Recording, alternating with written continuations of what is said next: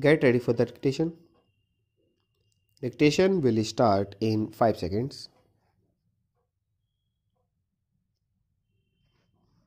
Start. Solve the problems they try to. Instead, authorities should teach pupil to use other efficient mechanism that would change their lives.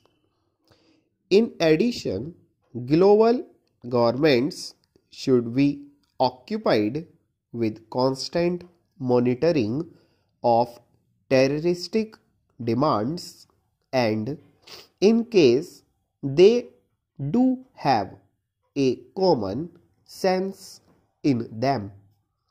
It is important for governments to start solving the problematic issues in legal ways. As a final point, the problem of terrorism is one of the most complicated in the modern world during the past few years it started its transformation to a different level today terrorists act individually and further investigation shows that no other power stands behind their actions. This is evidence that terrorists transformed their main activity into the level of human awareness and they try to infect human minds and hearts with their poisonous ideas.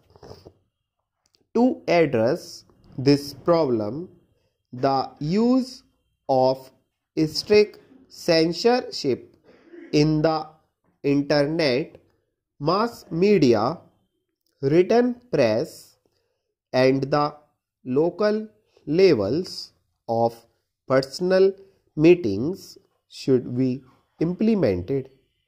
Also, global governments should spread positive and humane ideas that would teach people the other ways of solving their problems and they should do their best not to allow the existence of serious issues that might be used by terrorists in their propaganda.